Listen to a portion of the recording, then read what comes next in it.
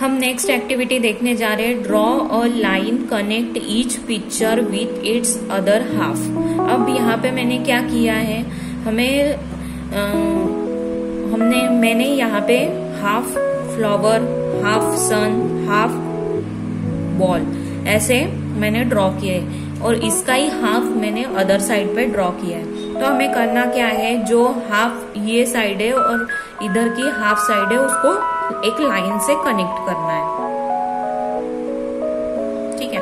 अब सन है सन को ये इधर कनेक्ट करना है और बॉल है बॉल को ऐसे।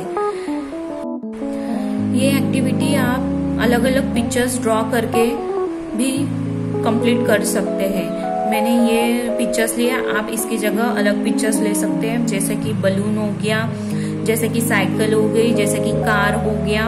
ऐसे डिफरेंट टाइप्स ऑफ़ पिक्चर्स लेके आप कनेक्ट कर, कनेक्ट करके ये एक्टिविटी कंप्लीट करवा सकते हैं।